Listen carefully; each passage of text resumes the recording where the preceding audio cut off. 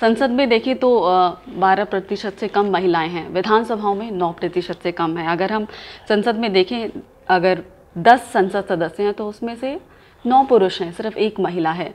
तो ऐसी स्थिति ग्लोबल लेवल पर अगर हम देखें तो भारत की स्थिति इवन इंडियन सब कॉन्टिनेंट पे भी बहुत डिस्करेजिंग दिखाई देती है। हम ग्लोबल मैप पे हम क्या दिखते हैं कि हम अपनी महिलाओं को प्रतिनिधित्व नहीं देते? यहाँ पर जो वुमेन वोटर्स है महिला जो वोट करने आती हैं उनकी संख्या तो आप पचास प्रतिशत है। और कई बार पिछले कई इलेक्शंस में हमने देखा कि वो पुरुषों से भी ज़्यादा है लेकिन उनको प्रतिनिधित्व नहीं मिल रहा। एक्चुअली मैं तो इंटरनेशनल पार्लियामेंट्री यूनियन जो है उसकी प्रेसिडेंट थी।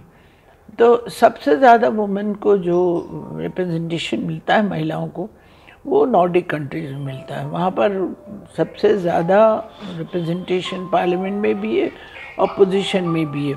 मगर यहाँ पर उसकी वहाँ एक दूसरी वजह भी है कि वहाँ आबादी कम है। तो पुरुष जो हैं वो बिज़नेस करते हैं, महिलाएँ जो हैं वो पॉलिटिक्स में ज़्यादा हैं।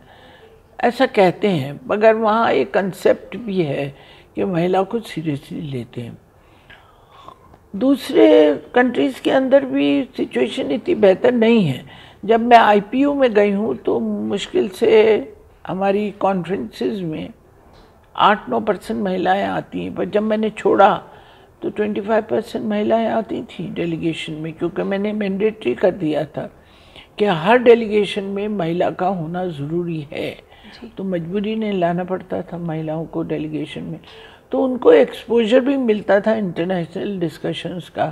एक्सपोजर भी मिलना चाहिए। अभी तो बात खुशी की बात है कि दो बार हमारी स्पीकर महिला बनी हमारी प्रेसिडेंट महिला बनी। तो ये तो एक अच्छी बात है। कई बार कहा जाता है अगर परसेंटेज नहीं है तो ये टोकनिज्म है। मैं इस हद तक तो नहीं जाऊँगी कि टोकनिज्म है क्योंकि जो महिलाएँ आई हैं वो किसी की मेहरबानी से नहीं आई हैं। जी। ये महिलाएँ अपनी मेहनत से ऊपर आई हैं। तो टोकनिज्म जब होता है जब किसी को टुकड़ा बांट दिया जाए हमें कोई बांटा नहीं है। हम अपनी मेहनत से आए हैं हमारी स्पीकर जो हैं वो कितनी बार सात बार इलेक्शन लड़ी जीत के आई हैं पुरुषों को हरा के आई हैं। तो हमारे इसको टोकनिज्म तो मैं नहीं मानूँगी। हाँ ये ज़रूर मानूँगी कि ये अच्छा नहीं लगता है।